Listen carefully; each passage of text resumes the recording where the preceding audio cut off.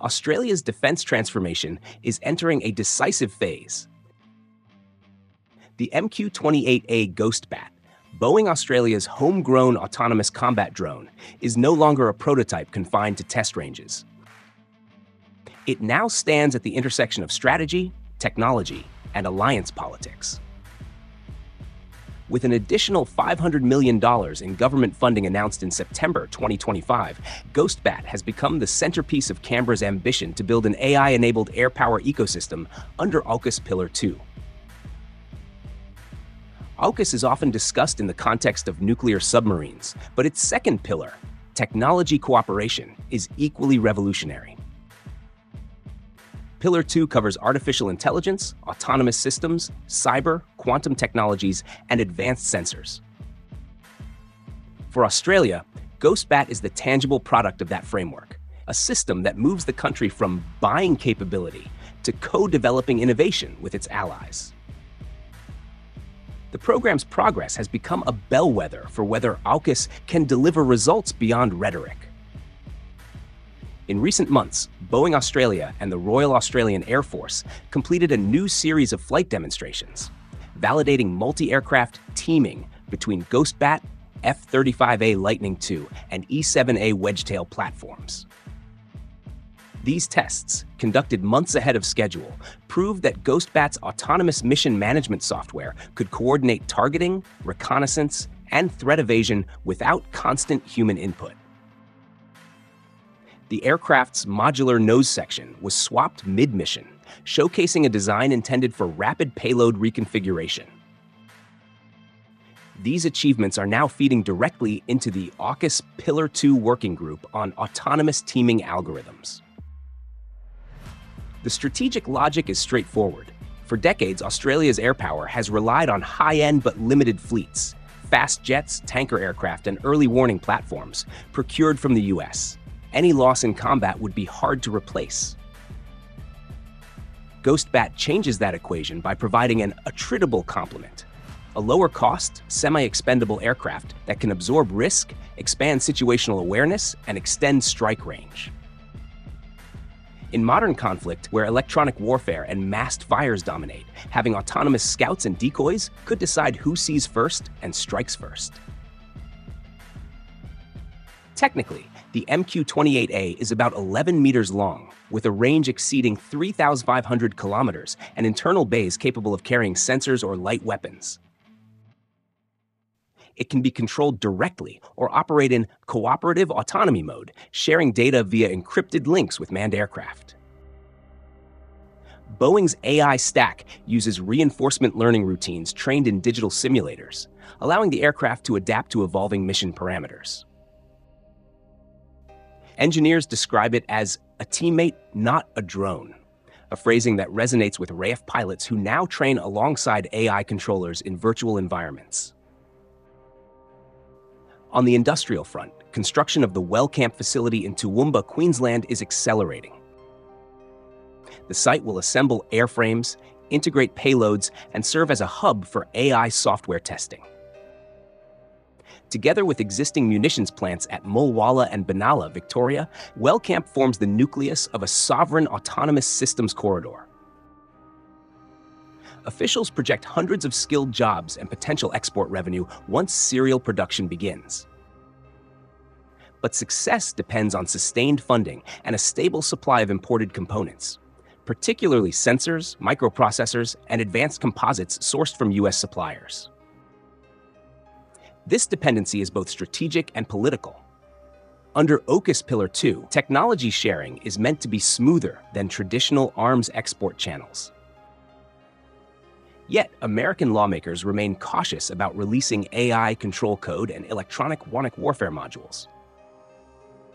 Canberra must therefore balance its desire for sovereign capability with the reality that the most sensitive software will likely remain US controlled.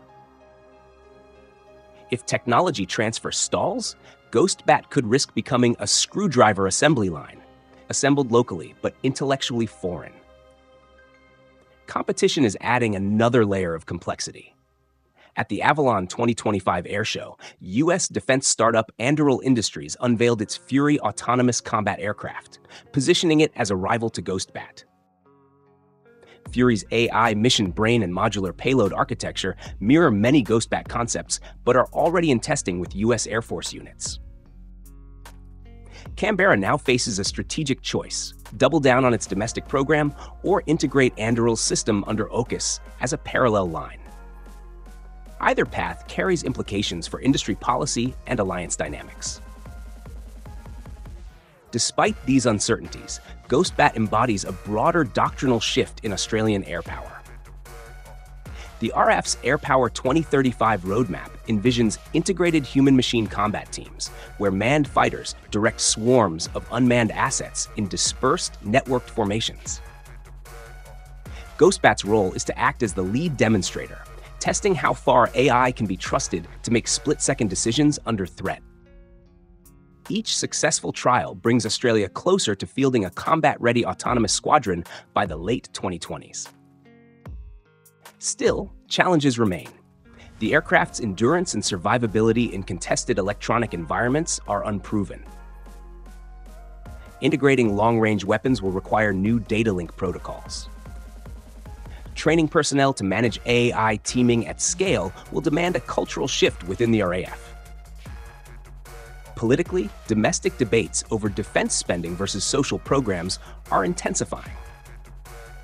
Critics warn that multi-billion dollar investments in untested AI systems could become the next future submarine project, expensive, delayed, and politically toxic.